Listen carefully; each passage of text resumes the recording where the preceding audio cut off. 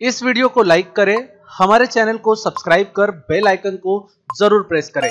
हमारे latest video सबसे पहले देखने के लिए। हिंदुत्व की राह पर राज ठाकरे एमएनएस का नया भगवा झंडा लॉन्च आइए अब आपको हम बताते हैं, आखिर इस नए झंडे में क्या खास है? महाराष्ट्र नवनिर्माण सेना, यानी कि एमएनएस प्रमुख राज ठाकरे ने गुरुवार को पार्टी के पहले महाधिवेशन में नया भगवा झंडा लॉन्च किया। भगवा झंडे पर शिवाजी महाराज की काल की मुद्रा प्रिंट है। इससे पहले राज ठाकरे की पार्टी में चार रंगों का झंडा था, जिसमें भगवा, नीला, सफ़ेद और हरा रंग का था। अब एमएनएस भगवे में रंग गई है। बाल ठाकरे की जयंती के मौके पर इस अधिवेशन का आयोजन किया गया है। यहाँ उन्हें याद कर महाराष्ट्र नवनिर्माण सेना हिंदुत्व की राह पर चल पड़ी है। मराठी के मुद्दे के साथ राज ठाकरे महाराष्ट्र हिंदुत्व की राजनीति का चेहरा बनने जा रहा है। राज ठाकरे ने इस भगवा झंडा लॉन्च करते हुए कहा कि हिंदू हृदय सम्राट बाल ठाकरे का मैं अभिवादन करता हूँ। कुछ कार्यकर्ता अभी पहुँचने वाले हैं। मैं उससे पहले पार्टी का नया झंडा आपके सामने रखता हूँ। शाम को मैं विस्तार से बात करूँगा।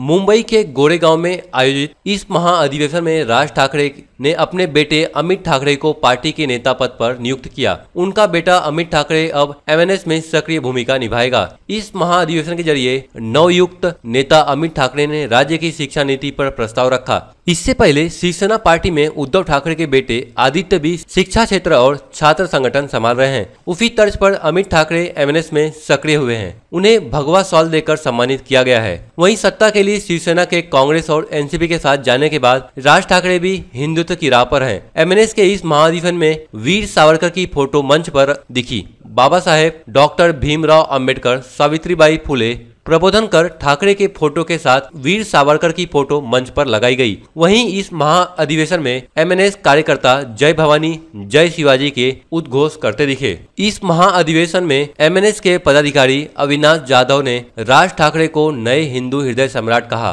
अविनाश जाधव ने कहा, बाल ठाकरे के बाद राज ठाकरे नए हिंदू हृदय सम्राट हैं। चलिए अब आपको हम बताते हैं एमएनएस के नए झंडे में क्या खास है। एमएनएस के नए भगवे झंडे पर शिवाजी महाराज के शासन काल की राज मुद्रा है। झंडे पर छत्रपति शिवाजी महाराज की राज मुद्रा लगाई गई है और नीचे बड़े अक्षरों में महाराष्ट्र नवनिर्माण सेना लिखा गया है। इस राज मुद्रा पर संस्कृत में लिखा है। इस मुद्रा में जो लिखा है, वह है, जैसे प्रतिप्रदा का चंद्र की तरह प्रतिदिन बढ़ने वाली पूरे विश्व को वंदनीय, ऐसी शाहजी के पुत्र शिवाजी महाराज की यह राजमुद्रा प्रज्ञा के कल्याण के लिए विराजमान है। तो दोस्तों, इस खबर में अभी के लिए बस इतना ही। आप एमएनएस के इस नए झंडे के बारे में क्या करना चाहते हैं, आप हमें वीडियो के कमेंट में ज़रूर बताएँ। साथ ही साथ वीडियो को लाइक करें और ज़्यादा से ज़्यादा शेयर करें। धन्यवाद।